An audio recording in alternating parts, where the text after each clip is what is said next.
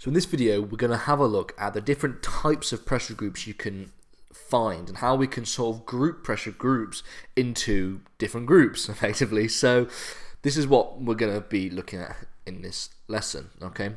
So pressure groups are said to be classified according to two main what we call typologies, okay?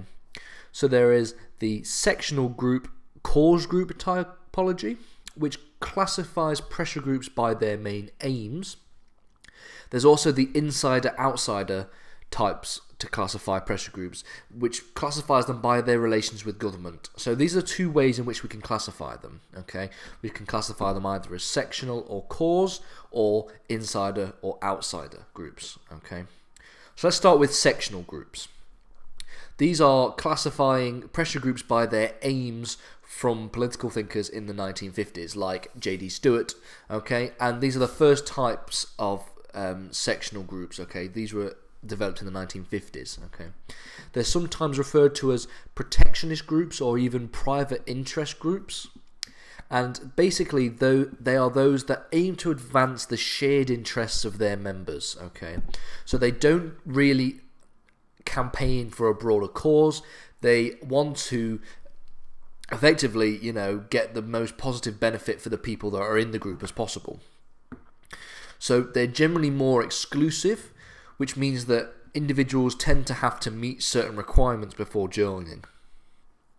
And an example in the UK is the BMA, okay, the British Medical Association. It's a sectional group for those who are qualified practitioners, okay, and it falls into the sectional group A because it's more exclusive. You have to be a qualified practitioner and B, the aim of the BMA is to advance the shared interests of its members. Okay, the same could also be said for the American Medical Association, the AMA, in the in the US. Cause groups are a little bit different. They're sometimes known as promotional groups or public interest groups, and these are these pressure groups seek to promote approaches, issues, or ideas that are not of direct benefit to the group members. So they generally look to establish a wide membership base and do not put any sort of boundaries of entry. Okay, there's not generally any requirements to enter because they want to get as many people in the pressure group as possible to promote the ideas or the issues at play. Okay, so for example, the Royal Society for the Protection of Birds (RSPB) uh, the RSPB, as of 2020, has over 18,000 volunteers and over a million members, making it the largest environmental society in Europe. Its aims are to promote uh, the ideas and issues uh, and awareness around the protection of birds. Okay. So, as a result, this falls neatly into the cause group typology okay? Because there's no general entry requirement and it has a cause. It has it promotes public interest okay? There are other types of sectional and cause, and cause groups. These are the just the two main um, branches of the sectional slash cause group typology.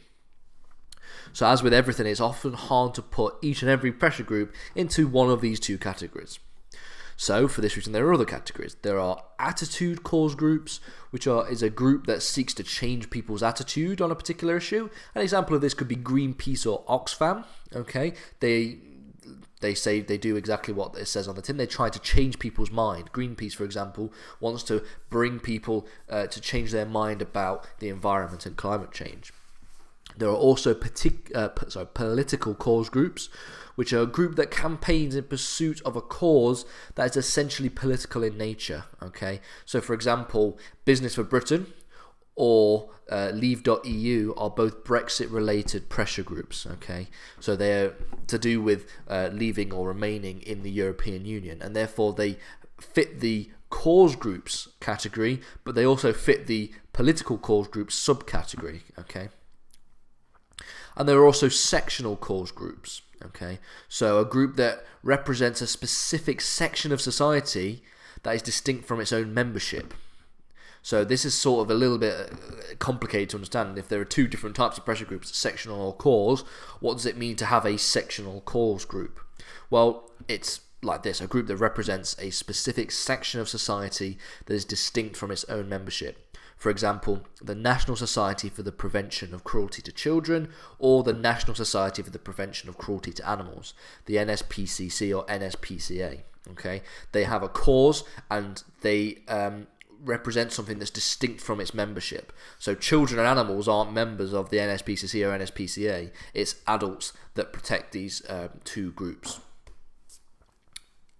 When it comes to the second kind of ways we can we can um, put pressure groups into their types, we can look at insider versus outsider.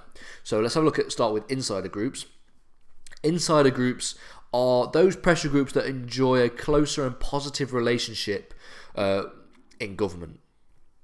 Okay, so for example, the BMA, British Medical Association, are described as core insiders, okay, core insider groups. The BMA is helpful in the process of policy making in a number of different areas, especially areas relating to the NHS.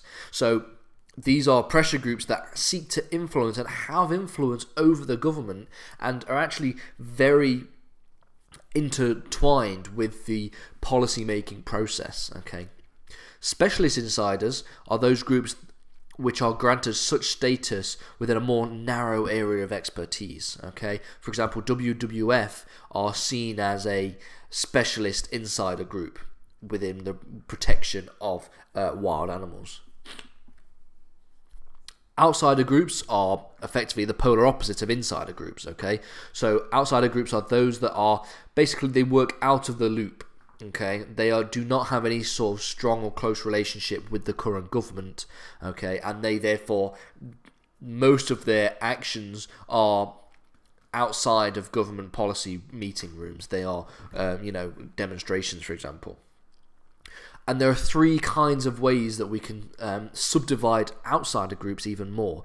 So we have potential insider outsider groups, which are groups that are currently outsider groups, but they have the potential to become insider groups. Okay, um, there are also outsiders by necessity, groups that are forced to operate as outsider groups as a result of there being no realistic prospect for regular consultation with the government. This may be because of the group's main aims or their chosen methods. So this is a very interesting one. Uh, basically, ones that have to be outsider groups because they don't they can't really um, be part of government uh, conversations. And then there are ideological outsiders groups that look to avoid establishing a close relationship with government. They don't want to become ins- uh, insiders. So for example uh, amnesty international is one that needs to remain and maintain its impartiality. So when you have not all outsider groups are seeking to be insider groups. Some of them don't want to have a working relationship with government. Some of them can't have a working relationship with government, like Amnesty International, because they need to remain apolitical and impartial um, to um, different um, the the political um, climate that's going on. Okay, so for this reason, you have different kinds of outsider groups: some that want to join, and some that can't join, some that don't want to join. Effectively. Okay